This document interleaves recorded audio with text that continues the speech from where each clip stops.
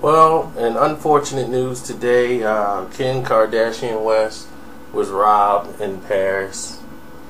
And it shows you no one is above a robbery. Um, very unfortunate what happened to her. And very unfortunate for the people that spent money, like LeBron James, at Kanye's concert, which he called off and cut the performance short due to a family emergency. So when Kanye ended everything and stopped it, you know, know LeBron said, I'd have did the same thing.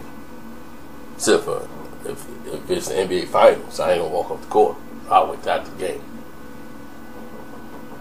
You know, I couldn't see nobody else really doing that uh, unless it's a health issue or something.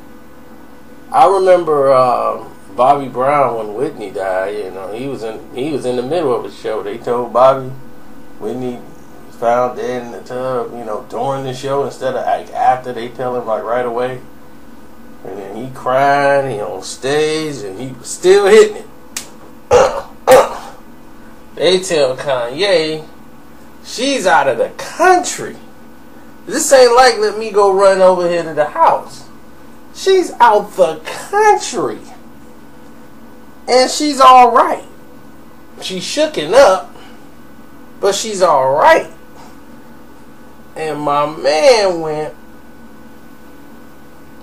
and said, I'm canceling this show. That's my wife. And hey, no, I'm not dissing him for it. I mean, I'd have got my money.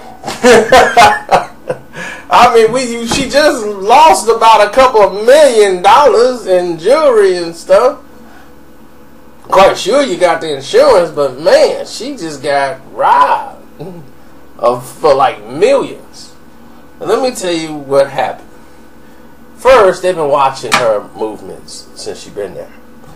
Uh, they've been watching the hotel. The first person they went to was the concierge. They put a gun on him, boom, let us into the room.